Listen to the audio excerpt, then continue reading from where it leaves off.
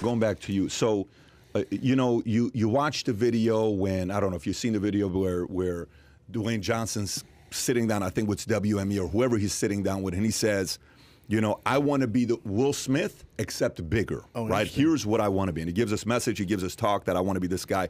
I think it's even a message he's given to the Lakers one time in the locker room. It's a real good video to watch.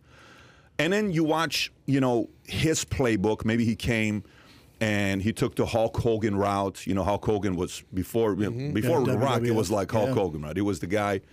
And then you know he kind of takes that angle. The Rock becomes who he becomes, and after his first fight, he says, "I'm not gonna play the bad guy. I'm always gonna be the good guy. I don't want to play the villain." In the W, he never wanted to play the villain, right? And he takes that route. What what route are you taking? Because I, I feel like there's a couple routes. One route is you come in, so you're an athlete. Obviously, you're an athlete. I mean, mm-hmm. you're a qualified athlete. This is not no minor leagues or you know any. That's, you're talking about you're qualified athlete. Mm-hmm. You had your cappuccino. Nobody here had cappuccino with the Buffalo Bills. At least mm-hmm. you made it to that level, right? And then you go UFC. So. Is there a route there where you were thinking about? You seem like a smart guy. You're not a guy that's Yeah. like doing it just to wing it. No. What was your what route are you taking? God, that's a good question. Um, I, I don't know if it's a route, like none of it's pre planned, but I, I think growing up and I ideal what I wanted to do. And then I was gifted athletically, and the neighborhood I grew up in in Aurora, Colorado, was predominantly black. So the way to be like to fit in was to be good at sports. So I was like, all right, well, this can get me through, so I don't get bullied and stuff. So I gravitated towards sports because I had a, just a talent for it. So that's how I made friends through sports stuff like that. But my passion was it, like I'd watch Saturday Night Live with my mom, so I wanted to be like Adam Sandler. But there was, but in Denver and like there was no like outlet for that, so I was like, I guess I do sports. But I was the funny guy in the locker and stuff like that, mm-hmm. and then got to the UFC, and then I just ran the UFC. Like if you if you had Nate Diaz sitting here, or Conor, or you know, Cain Velasquez or Francis Ngannou, and you ask them about fighting, they love it. It's all they want to do. I hated it. Really? I, I was just good at it. Really? I fucking What, hated what'd you it. hate about it? Um, it was just so stressful. I don't like to hurt people. Like my coaches in training were like, "Man, you got to go hard." I'm like, "I don't want to hurt them, man."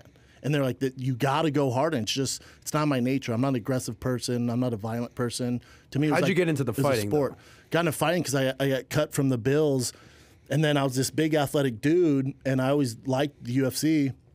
I was selling supplements door to door, and I need to stay in shape, so I started to do jujitsu. Mm-hmm. And I signed up the first day, and they're like, "Man, you're pretty good." I was like, "Really?" Like, "Yeah, we have a, a big guy because you need to go with another big guy. He'll be here tomorrow. He drives down from Greeley, which is like two hours away. He goes, he comes every Tuesday, Thursday.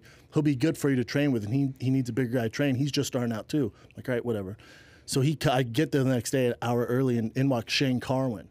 and if you know Shane Carwin, he's the UFC heavyweight champ. but we started Pull him up, together. Tyler. Beast. We started together. So What year is this? 2007, But that, 2008. that's something a lot of people don't know. You just gave great insight into the martial arts world. Is when you're a bigger dude and you're fighting, there's so there's such a dearth of talent mm-hmm. that anybody that's in the heavyweight or light heavyweight that you come up with, it's hard to spar with these dudes and come up with them because you're gonna end up fighting them eventually. Oh, Yeah. this is the guy right here. yeah. There's not Certified there's- badass, huh? This Yeah. guy. yeah, UFC heavyweight champion, like one of the Straight hardest up. hitters of all time. But then, you know, he was older. He was like 36, and I was I was young, man. So I didn't have money. I was broke, but he paid for all my training just so I trained with him. And then Now, when you're training with him, is he peaking or is he a little bit past peak? Uh, he's peaking. He is peaking. it was 36. trouble, okay, man. Yeah, got. I got my ass whipped. So you're the day. perfect teacher for you, though, right? Yeah, mean, so I, I learned so much from him. So Got then it. he got into the UFC, and then uh, I was training, and I, again I was selling supplements door to door, and I'm making a lot of money, living with my brother, and then uh, he goes, "Hey, Golden Gloves is next week, the big boxing tournament," and I was like, "Kind of boxing, not really. Like I do it to stay in shape." And he's like, I signed you up for it. I'm like, what? He's like, I signed you up. You're doing it. And I'm corny. I'm like, dude, I don't want to do golden gloves. He's like, just do it. See how you do.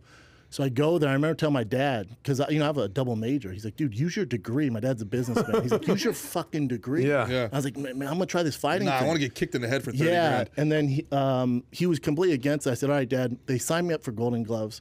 It's the biggest national boxing tournament. If I win that, you'll I want you to give me your blessing to continue fighting. If I lose, I'll do whatever you want. I'll work for you." You're talking to Pops. Talking Pops. Okay, got it.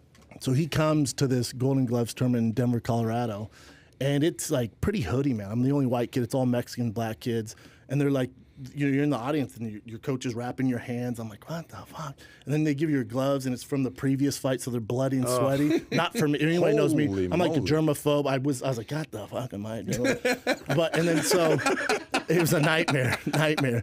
And then oh, and then in boxing, traditional boxing, amateur boxing, you can't have a beard. So they made me shave. So I have this mustache. So everyone thinks I'm this big Mexican. so I go, uh, so I go up there, and you know, I had six fights. I won all the fights by knockout Really? Yeah. so you With came in there headgear? and dominated. with headgear. Wow. Yeah, One day, six fights one day. or- three three the first night, three the next night, Back and to then back. and then when I get to the championship fight, they wrap my hands, and I was fighting a guy who was 46 and 0 in the army. He won all his fights in the army. He's undefeated, big black guy, probably six seven.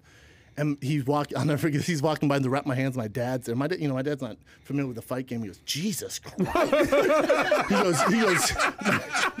Thanks for motivation. Yeah, Pop. it's like, yeah, you know, he- my Good dad goes. Jesus Christ, who is he fighting? Go, Me, Dad. He goes, "W- you can't. He goes, you can't do this. You, you, you shouldn't do this. I go, no, let's see how it goes.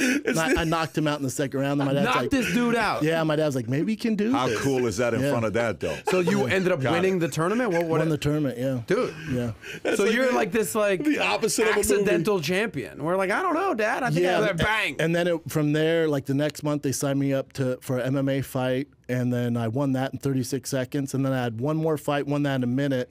And then I was training with like GSP, Rashad Evans, Shane Carwin, all these guys. And Rashad goes, "Hey, you know the next Ultimate Fighter is heavyweights." I go, "Okay, cool." And he goes, "You should uh, do it." And I go, "I don't know if that's for me, because I still wasn't sure what I was going to do." And then I get a call from them, and they're like, "Hey, we'd love for you to uh, come to the interviews." So I skipped all the tryouts, everything, because Rashad was like, "This is the guy."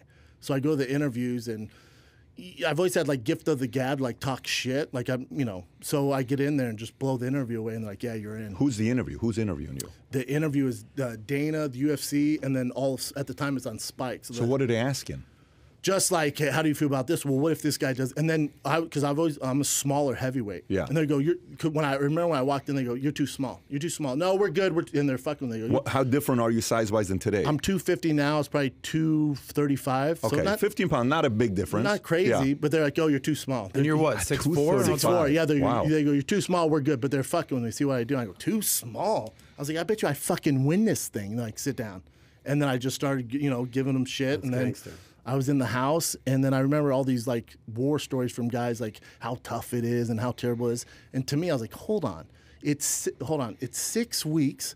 You give me any food that I want that I want to order, any drink I want. I just can't talk to my family or friends. Yeah. I was like, this a is vacation. This is like Willy Wonka's chocolate You factory. cannot talk to family and friends. no, yeah, But in fairness, you're not cutting weight though. no yeah no no communication with outdoor outside world no magazines no tv you're with 16 other dudes in a house the only time you leave the house is to train so they want animosity Holy and then they give you all the liquor you want all the liquor you oh, want. Because so they want you drunk hammered. and then Yeah. just lippy. Great strategy. yeah but Turn the great air conditioning strategy. off, break It's- the it's- thermostat. yeah Great it's, it's like the real world mixed with Yeah. actual real fighters Yeah. and so my season which was the biggest season of all time not because of me because kimbo slice was on there and roy nelson mm-hmm. Hold on. but I was in the house. So for me, it was like be going through football, right? Like I walked down to University of Colorado, earned a scholarship. Like to me, the grind, I ov- always embraced that. So I was like, oh, I'm going to be so much more mentally tough than these guys. So we're in the hot tub. Never forget this first night. We're in the hot tub, and this big black guy, Dominic Rogers. Everyone's scared of this guy.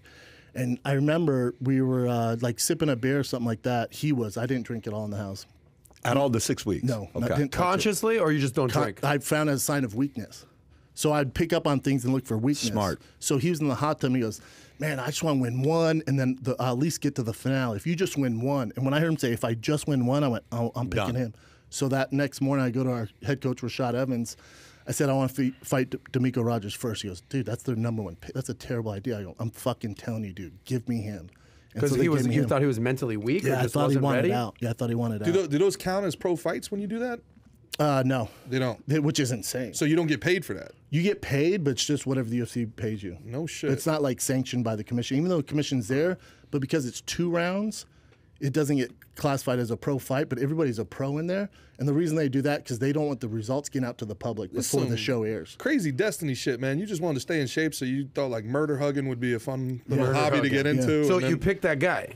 Pick that guy, beat him, and then was off to the races. And then they give me the worst matchup possible. This John uh, Jon Madsen, who's a four-time All-American wrestler, national champion.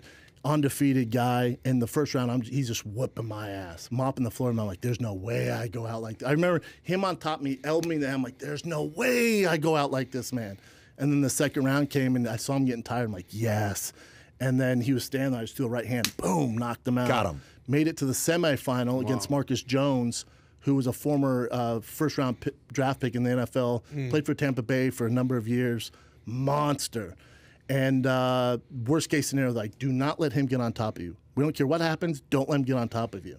And within 30 seconds, he's on top of me, gets full mount. He's raining elbows down on me. Somehow I get out of it, and then we're uh, we're in the clinch, and he's way bigger than me. And he takes my head and just knees me right in the nose. It's the first time I've ever like broke my nose. I just remember like my nose is all the way over here. And then again, there's something in me going, "There's no way we go out like this, man." And then just a right hand, boom, knock him out. And I'm doing uh, snow angels inside the middle. Bro, of the I have a question. For you. I I have a question for you, Brendan. and then and I remember I grabbed Dana because I was so excited. I'm picking him up, and he goes, "Bro, your nose." So if you enjoyed this little short segment from the podcast that we did, here's another short segment to watch. Or if you want to see the entire podcast, click over here. Take care, everybody. Bye bye.